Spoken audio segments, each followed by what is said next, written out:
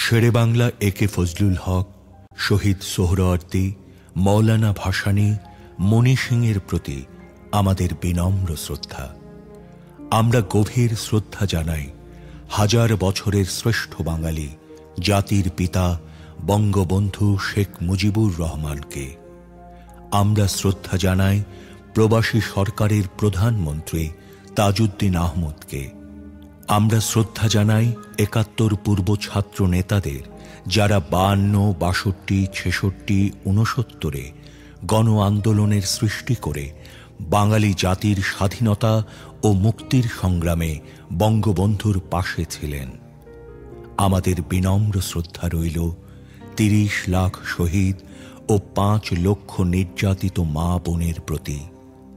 আমরা শ্রদ্ধা জানাই বীর মুক্তিযোদ্ধাদের যারা স্বাধীন বাংলাদেশ সৃষ্টি করতে শহীদ হয়েছেন। আমরা শ্রদ্ধা জানাই লক্ষ লক্ষ মুক্তিযোদ্ধাকে যাদের বীরত্বের কারণে আমরা স্বাধীন বাংলাদেশ সৃষ্টি করতে পেরেছি। আমাদের গভীর শ্রদ্ধা রইল একাত্তর সালের সেই জনগোষ্ঠীর প্রতি, যারা সীমাহীন কষ্ট ও নির্যাতন ভোগ করে মুক্তিযুদ্ধের প্রতি অনুগত থেকে মুক্তিযোদ্ধাদের সর্বাত্মক সহযোগিতা দিয়ে স্বাধীন বাংলাদেশ সৃষ্টিতে ভূমিকা রেখেছেন। এদের সবার কাছে আমরা ঋণী। হাজার বছরের শ্রেষ্ঠ বাঙালি, জাতির জনক, বঙ্গবন্ধু শেখ মুজিবুর রহমানের কাঙ্ক্ষিত বাঙালি জাতীয়তাবাদী চেতনার বিকাশ, শোষিতের গণতন্ত্র, শোষণমুক্ত, বৈষম্যহীন সমাজ, মানবিক মূল্যবোধ, সামাজিক ন্যায় বিচার সামাজিক, অর্থনৈতিক, রাজনৈতিক সাম্য প্রতিষ্ঠা করে জনগণকে ক্ষমতার প্রকৃত মালিক করে আমরা এদের ঋণ শোধ করতে পারি। আসুন, আমরা আমাদের পূর্বসূরীদের ত্যাগকে স্মরণ করে তাদের নির্দেশিত পথে দেশকে এগিয়ে নিই। জয় বাংলা। আমার নাম খিজিরাত খান। আমার বাবা মৃত মুজিবুর রহমান। আমার আম্মা সাড়ে একাত্তর বছর কোম্পানিগঞ্জ যুদ্ধের আগে আপনি কি করতেন? যুদ্ধের আগে আমি ছাত্রলীগ করতাম। মানে পড়াশোনা করতেন বা- পড়াশোনা করতাম ছাত্রলীগ করতাম। ছাত্রলীগের কোম্পানিগঞ্জ তখনকার পাকিস্তান ছাত্রলীগ কোম্পানিগঞ্জ শাখার সভাপতি ছিলাম। তখন সেক্রেটারি আমাদের এখানে শরীফ। মানে কোন ক্লাসে বা কোথায় করতেন ইন্টারমিডিয়েটে পড়তাম। কোন কলেজ সমনি কলেজ আমি দুইবার ছিলাম। আর একবার শরীফ একবার ইসমাইল। আমি পরপর দুইবার ছাত্রলীগের সভাপতি ছিলাম। সেভেন্টি মানে আওয়ামী লীগের কমিটির সাথে কারা কারা ছিলেন? তখন আওয়ামী লীগের কমিটিতে আলিমাম চৌধুরী সাহেব সভাপতি যারা মামুন হাসান চৌধুরী সাহেব সেক্রেটারি ছিলেন। যুদ্ধের সাথে আপনি যুক্ত হলেন কীভাবে? আমি যখন ছাত্রলীগ করি বাংলাদেশের মুক্তিযুদ্ধ তো শুরু হয়েছে অনেকে মনে করে যে মানে সেভেন্টি ওয়ানে মূলত। আমরা যারা ছাত্রলীগ করছি। ছাত্রলীগের ভিতরে তখনকার সময় দুইটা অংশ ছিল। একটা অংশ গোপনে। আন্ডারগ্রাউন্ড ছিল ছিল ওপেন ছিল। নাইনটিন সিক্সটি টুতে ছাত্রলীগ নিউক্লিয়াস সৃষ্টি করছে। নিউক্লিয়াসে আমাদের জনাব শেহুল আলম খান, কাজী সম্পদ আব্দুল রাজ্জাক ভাই, আমাদের নেতা বঙ্গবন্ধু শেখ মুজিবুর রহমান, ওনাদের নেতৃত্বে গেছে। মুক্তিযুদ্ধ হওয়ার আগে নাইনটিন সিক্সটি এইটে এই যে আমরা একটা দেশ স্বাধীন করব, আমাদের দেশের ইয়ে হয়েছে আমাদের পূর্ব পাকিস্তান ছাত্রলীগ সেন্ট্রাল কমিটির প্রশাসন মন্ত্রী ছিলেন মুস্তাফিজুর রহমান সাহেব। উনি ছিলেন বৃহত্তর নোয়াখালী জেলার সংগঠক। ওনারা আমাদেরকে স্বাধীনতার পক্ষে নাইনটিন সিক্সটি এইটে আমাদেরকে একটা ধারণা দিয়েছে, এভাবে এভাবে দেশ স্বাধীন করতে হবে।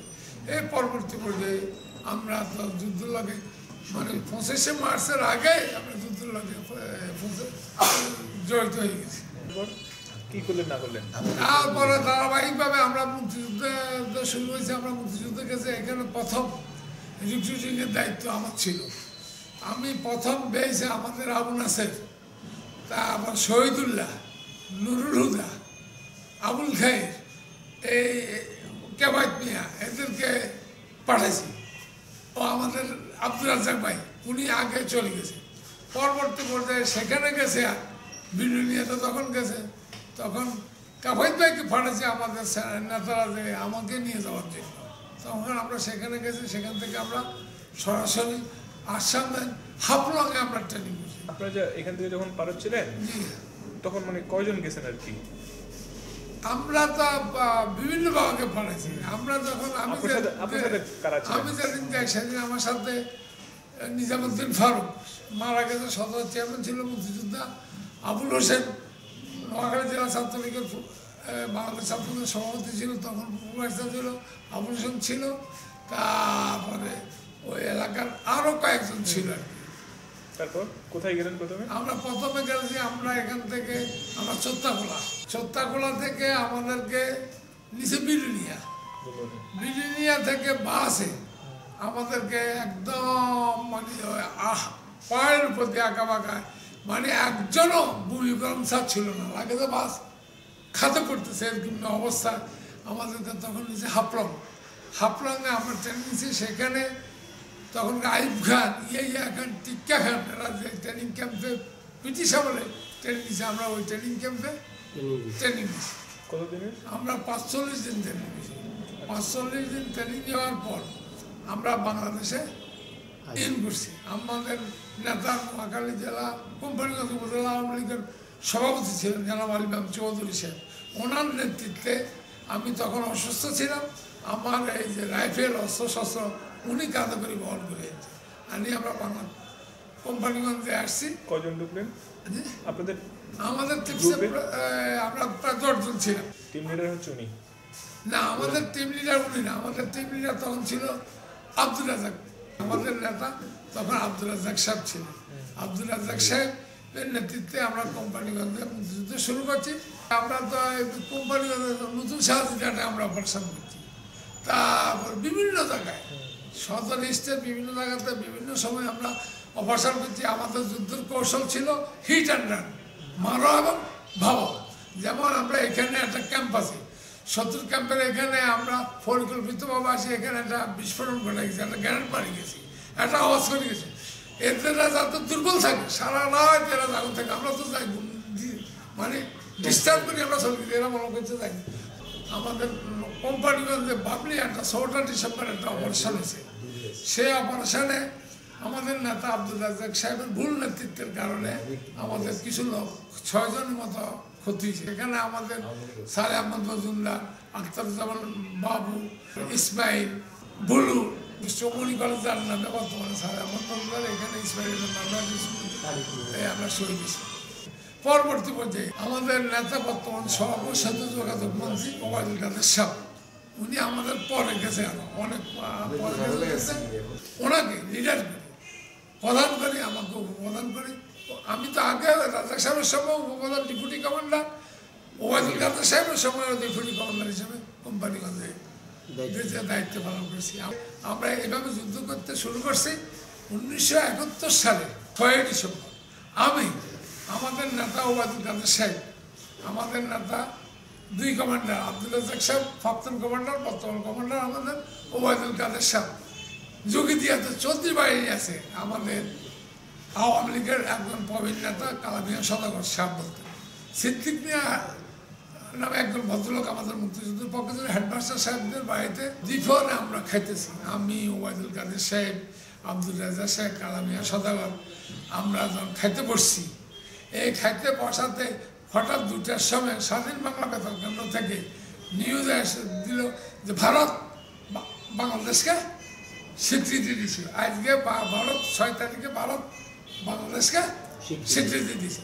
তখন আমরা ওখানে পরিকল্পনা করছি যে ভারত হয়তো আমাদেরকে স্বীকৃতি দিছে আজ যা আমাদের নেতা ওবায়দুল কাদের সাহেবের নেতৃত্বে কোম্পানিগঞ্জ বসুয়াট ক্যাম্প ভাবলি আমাদের কমান্ডার নবী সাহেবের নেতৃত্বে ভাবলি ক্যাম্প আমরা আক্রমণ করব? এই সিদ্ধান্ত নিয়ে দুই পক্ষে আমরা দুই দিকে বাঘ হয়ে গেছি। বাঘ হয়ে যাওয়ার পর ছয় তারিখ রাত্রে আমরা বসুয়াটে আক্রমণ করেছি আমাদের নেতা আব্দুল রাজাক সাহেব এবং ওবায়দুল কাদের সাহেব কাছারি বাইরে ওখানে ছিল এইখানে আমি কি কয় যে এদেরকে মানে মাইক দিই হ্যান্ড মাইক হ্যান্ড মাইক দিয়ে আমরা এদেরকে কথা করছি ইয়ে করার জন্য প্রথম রাত্রে সন্ধ্যা রাত্রে তাহলে আত্মসমর্পণের জন্য সন্ধ্যা রাত্রে আমাদের কাছে একটা মেসেজ আছে যে আক্তার মিয়া নামে একজন রাজাকার কমান্ডার ছিল ওনার সাথে আমার ব্যক্তিগত সম্পর্ক ছিল আর এক থেকে আর যে তারা আমাদের কাছে সারেন্ডার করবে মেয়ে। তখন নিদর্শন শুরু করেছে আজকে আমাদের আবুল হাসেম খাজা আবুল হাসেম মৌলভী বৈশাখ, ওদের মাধ্যমে মেসেজ দিল দেওয়ার পরে হেরা আমাদেরকে নিদর্শন স্বরূপ শতখানিক বুলেট দিছে বুলেট একটা পেট দিছে। পরবর্তী পর্যায়ে এরা আর ইয়ে করে না। এরপর আমরা পরিকল্পনা করছি এদেরকে সার্ডার করে দিব তখন যে থানার বিল্ডিং দেখেছে এখানে দুইটা বিল্ডিং ছিল। এক বিল্ডিংয়ের দক্ষিণ পাশে জমাত শিবির মুসলিম লীগের রাজাকার ছিল আর এদিকে পুলিশ ছিল এই কেন্দ্রে আমি রাত্রে তখন ধরেন না একটা কিন্তু একটা আমি কি কয় যে এখান দিয়ে উঠি এই ওয়াল টকে এখানে গেছি থানার ভিতরে ঢুকছি। থানার ভিতরে ঢুকার পরে ওসি তায়ের মোল্লা ওসি কুদ্দুস একজন কি কয় যে ট্রান্সফারে যাব আরেকজন থাকবে।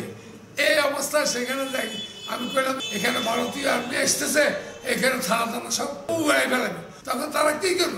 তখন আক্তর মিয়া সহ এখানে ওসি আক্তর মিয়া, ওসি তায়ের মোল্লা আর সব পাঁচ ছজনকে আমরা নামায় নিয়ে আসছি আমি। নামায় নিয়ে আসার পর আমরা এদেরকে ওই আমাদের এখানে রাষ্ট্রীয় অফিসের ওখানে নিয়েছি। ওবায়দুল কাদের সাহেব রাজাকীয় সহ আমরা চুক্তি করলাম। প্রথম একটা হ্যান্ড ব্যাগ দিয়ে এখানে দক্ষিণ মসজিদ, মসজিদের এখান থেকে হ্যান্ড ব্যাগকে আহ্বান করছি যে তোমরা সারেন্ডার করো। ভারতীয় আর্মি আসতেছে, তোমরা তাদেরকে সারেন্ডার যাব না। আবার এখানে আসলাম আমার সবার বলে এরপর আমি এই ফলের ফলে চলে আমাদের, আমরা কাকে ধরাবো সারেন্ডার করার জন্য? আমাদের লোকমান মিয়ার বাপ রশিদ সাহেব নামে এক ভদ্রলোক আছে। আমাদের মামা হয় সম্পর্কে। তাকে আমরা যাই কন যে আক্তার মিয়া সহ তোরা সারেন্ডার করছে তোরা সারেন্ডার করে গেলাম ও হিরা দেখছে যে গেটের সামি নেই আবার গেটের সামি নিয়ে আসে গেলে এর পরবর্তী পর্যায়ে উনি যাই করে যে এরা এখানে আসি, এই ফলের ফলে। আমি মাইকে পাসার করলাম যে তোমরা সারেন্ডার করো। এরা আস্তে আস্তে সবাই সারেন্ডার করল তারপরে একজন যখন নামিয়ে আসলো, এই যে ভিতরে আসলো, পাবলিকের কাছে অস্ত্র দিয়ে দিয়েছি, কইছি যে ওখানে আমাদের নেতা ওবায়দুল কাদের সাহেব, আব্দুল রাজাক সাহেব আছে, এগুলো সেখানে। টোটাল একশো নব্বই জন মতো এদেরকে সারেন্ডার করা হয়েছে। সারেন্ডার করা হয়েছে এবং এর ফলে আমরা কোম্পানিগঞ্জ মুক্তিযুদ্ধ শেষ করছি। ছয় ডিসেম্বর আমরা করছি সাতই ডিসেম্বর আমাদের কোম্পানিগঞ্জ মুক্ত হয়েছে। যেই লক্ষ্য নিয়ে উদ্দেশ্য নিয়ে আপনারা যুদ্ধে গেছেন। আজকে এসে কি মনে হচ্ছে? আমরা যারা মুক্তিযুদ্ধ করছি আমরা যারা মুক্তিযুদ্ধের প্রেম শক্তি ছিলাম আমরা হয়ে গেছি। আমাদের বৈজ্ঞানিক সমাজতন্ত্র করার জন্য সব বেটার কিছু করার জন্য আমরা তখন বাঘ হয়ে গেছি। আমরা সেদিন বাঘ না হইতাম জিয়া রহমানের জন্ম হতো না যাতে বিএনপি এর সাথে জন্ম হতো না আমরা এ থাকতাম। একুশ বছর আমরা এটার বিরোধী ছিলাম। আমি কোম্পানিগঞ্জের সবচেয়ে বড় আওয়ামী বিরোধী ছিলাম। এখানে আমার নেতৃত্বে এখানে আওয়ামী লীগের ক্ষতি করার লাগে যা যা করার দরকার আমি করছি। এর ফলে আমরা যখন বুঝলাম গোলাপ আজমের নাগরিকত্ব দিছে এইসব চিন্তা করি আবার পুরানো জায়গাতে ছিয়ানব্বই সালে আবার আওয়ামী জয়েন করছি। জয়েন করার পরে আওয়ামী লীগ এত বিরোধিতা করার পরও দুই হাজার তিন সালে সম্ভবত আমার উপজেলা আওয়ামী লীগের সভাপতি বানাইছে আজকে পর্যন্ত সভাপতির দায়িত্ব পালন করতেছি এবং বঙ্গবন্ধু বলছে, এবারের সংগ্রাম, মুক্তির সংগ্রাম, এবারের সংগ্রাম স্বাধীনতার সংগ্রাম। স্বাধীনতার সংগ্রাম মুক্তিতে আসে না আমাদের জননেত্রী শেখ হাসিনার নেতৃত্বে দুই হাজার একুশ সালে বাংলাদেশ হবে মধ্যায়ের দেশ। দুই হাজার একচল্লিশ সালে আমরা উন্নত বিশ্বে আমরা পরিণত হব। এই আমাদের রাজনীতি যেটুকু, আমাদের গ্যাপ গেছে, বিশ পঁচিশ বছর সেইটুকু আস্তে আস্তে রিকভারি হবে। ধন্যবাদ। তিরিশ লক্ষ শহীদ ও পাঁচ লক্ষ নির্যাতিত মা বোনের সম্ভ্রমের বিনিময়ে আমরা স্বাধীন। লক্ষ লক্ষ মুক্তিযোদ্ধা বীরত্বের সাথে যুদ্ধ করেছে বলে আমরা স্বাধীন। হাজার হাজার যোদ্ধা বীরত্বের সাথে যুদ্ধ করে শহীদ হয়েছে বলে আমরা স্বাধীন। কোটি কোটি লোক আমাদের সমর্থন করতে গিয়ে অবর্ণনীয় দুঃখ কষ্ট সয়েছে বলেই আমরা স্বাধীন। হাজার বছরের শ্রেষ্ঠ বাঙালি, জাতির জনক, বঙ্গবন্ধু শেখ মুজিবুর রহমানের কাঙ্ক্ষিত বাঙালি জাতীয়তাবাদী চেতনার বিকাশ শোষিতের গণতন্ত্র, শোষণমুক্ত বৈষম্যহীন সমাজ, মানবিক মূল্যবোধ, সামাজিক ন্যায় বিচার, সামাজিক অর্থনৈতিক, রাজনৈতিক সাম্য প্রতিষ্ঠা করে জনগণকে ক্ষমতার প্রকৃত মালিক করে আমরা এদের ঋণ শোধ করতে পারি। আসুন, আমরা আমাদের পূর্বসূরিদের ত্যাগকে স্মরণ করে তাদের নির্দেশিত পথে দেশকে এগিয়ে নেই। জয় বাংলা।